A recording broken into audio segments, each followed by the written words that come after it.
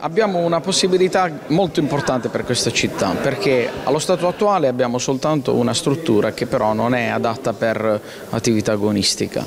E grazie al PNRR che però finanzia demolizione e ricostruzione potremo avere un, una struttura per 2000 posti che eh, sorgerà lì dove ora sorge l'attuale la, struttura che invece non ha nemmeno l'agibilità per cento.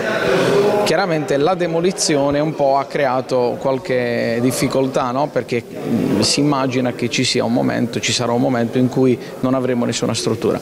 Per cui gestiremo il eh, momento di, di vuoto, diciamo così, eh, in maniera tale che nessuno si possa sentire diciamo, penalizzato. L'idea sarebbe quella di non demolire, perché d'altronde noi abbiamo una tensostruttura, ma smantellare e rimontare la tensostruttura magari proprio nel periodo in cui non c'è attività agonistica, in maniera tale che poi quando eh, diciamo, tutto riprenderà il, eh, gli allenamenti, le sessioni di allenamenti si possono fare nella, nella, struttura rimontata altrove, non troppo distante da dove sorge ora e poi con calma, naturalmente quando poi sorgerà il palazzetto avremo una struttura adeguata alle esigenze del, della città che sono decisamente cresciute nel corso di questi anni.